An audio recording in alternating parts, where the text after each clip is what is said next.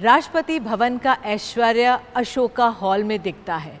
अंग्रेज़ों के ज़माने का ये बॉल रूम था।